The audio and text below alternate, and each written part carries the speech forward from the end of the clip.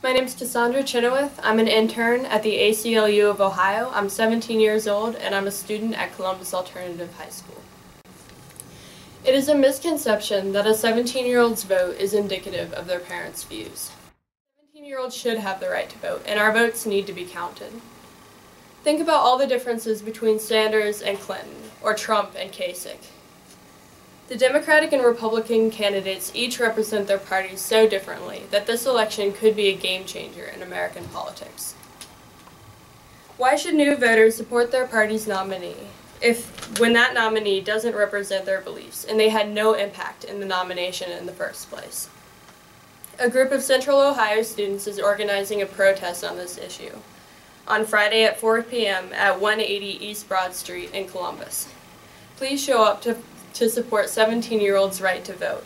Thank you.